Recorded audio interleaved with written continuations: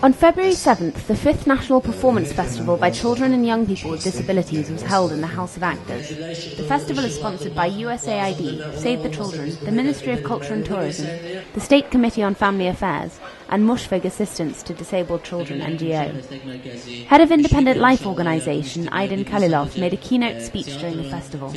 He said that the aim of the event was to foster the social integration of children with disabilities through art and work on positive perceptions. The festival has been held every year for the past five years and 25 organisations have been involved. Approximately 50 disabled children were able to demonstrate their talent and skills.